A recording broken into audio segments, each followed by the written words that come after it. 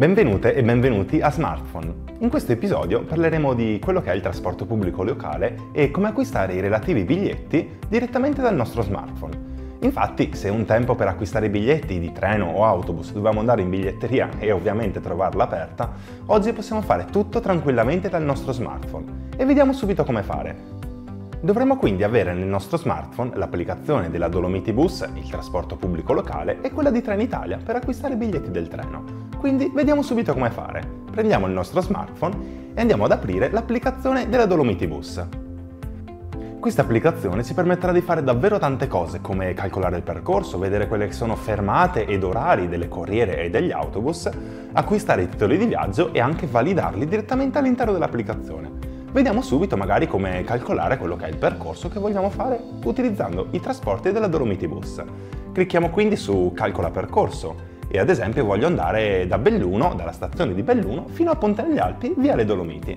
Clicco quindi su Cerca partenza e vado a indicare Belluno FS. Nella destinazione ovviamente vado a indicare uh, Ponte negli Alpi, via le Dolomiti. Qui posso andare a inserire anche quella che è la data e l'orario in cui voglio partire e mi farà vedere tutte quelle che sono le soluzioni disponibili con le varie corriere. Clicco quindi su Cerca soluzioni ed ecco qui che mi mostrerà tutti gli autobus e corriere disponibili per raggiungere il luogo indicato. Se vogliamo acquistare invece il titolo di viaggio direttamente dal nostro smartphone, direttamente dall'applicazione della Dolomiti Bus, andiamo a cliccare quindi su Acquista e poi cliccheremo su biglietti a tariffa fissa perché questa applicazione ci permette eventualmente anche di acquistare gli abbonamenti. Clicchiamo quindi su biglietti e qui andiamo a selezionare la categoria di biglietti che più ci interessa. Nel mio caso vado a selezionare titoli extraurbani e poi vado a scegliere la fascia chilometrica desiderata. Nel mio caso 12 km. Ed ecco qui che possiamo andare ad acquistare direttamente con la nostra carta il nostro biglietto. Ricordiamoci poi di andare a validare questo biglietto una volta acquistato. Se vogliamo invece acquistare un biglietto del treno, quindi utilizzando l'applicazione Trenitalia, ci basterà aprirla e andare a cercare quella che è la soluzione di viaggio che fa per noi. Per farlo ci basterà cliccare sulla lente di ingrandimento che troveremo al centro. Proviamo quindi a cliccare e andare a inserire un viaggio da Belluno a Venezia. Vado quindi a inserire come stazione di partenza la stazione di Belluno e come stazione di arrivo la stazione di Venezia Santa Lucia.